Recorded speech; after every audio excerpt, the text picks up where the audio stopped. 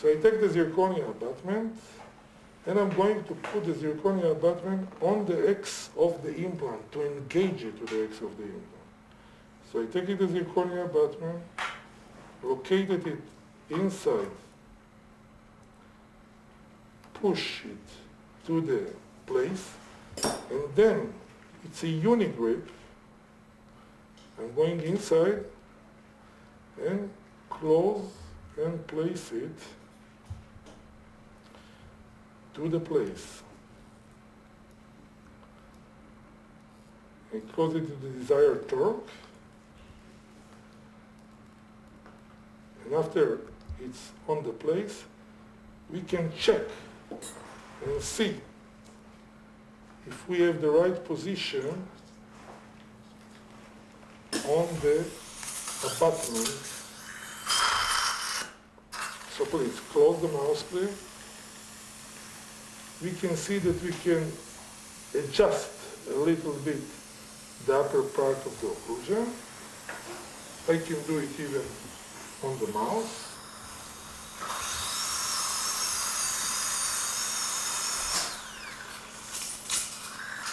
We have a position that we want to have this position because this position will give us exactly the space that we need for building the crown to have more aesthetic and to support whatever we need to support.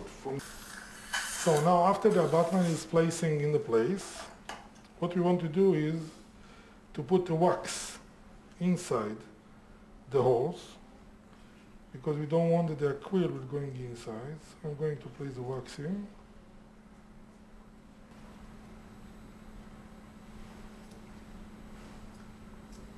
So I'm going here and I'm going to take a little bit of acryl and just place it on the upper part.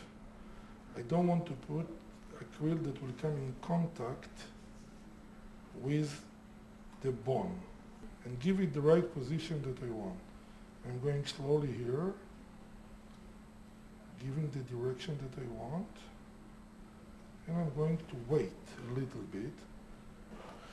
Now we're going to, after the first set of the acryl, we take it out. Let's wash it a little bit so you can see here.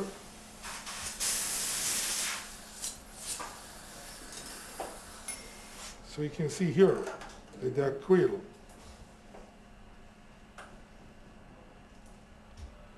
you can see here that the acryl is not rich the bone on the buccal plate. Here we have more down, but we don't know exactly. So what I'm going to do now, I'm going to take out the abutment. Then I go with this instrument inside with the uni-grip and open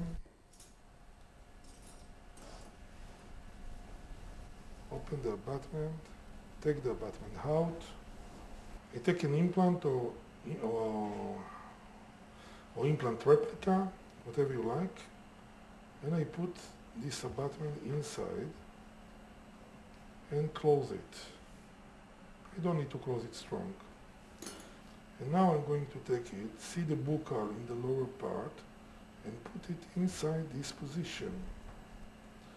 What I see now, that I'm very far away from the bone.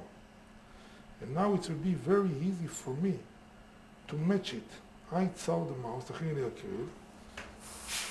to give him the right form that I want to give him.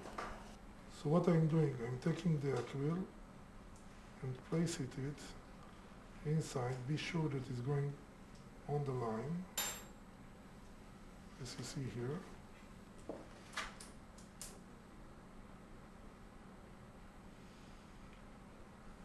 Now we can adjust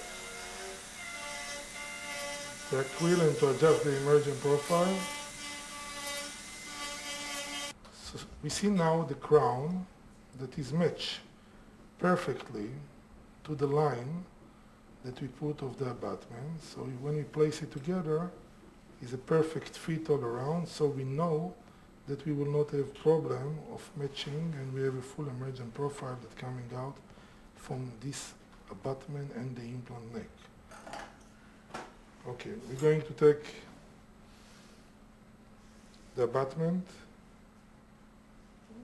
put it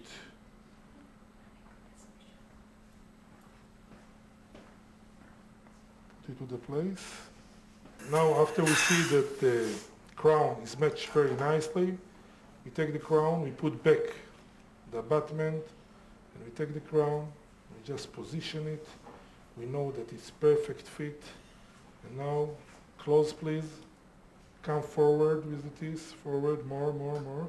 We see that we don't have a contact, there's no contact, go backward. Okay, is free from the palatinal. So for me, it's a good now, it's a perfect. And uh, of course we can send it to lab and make it to be more nice aesthetic and more beautiful. But as I mentioned before, I like, open please, I like to have space and to make it very little, to have more gingiva. And later on, when I have the gingiva, I'm going to push it back.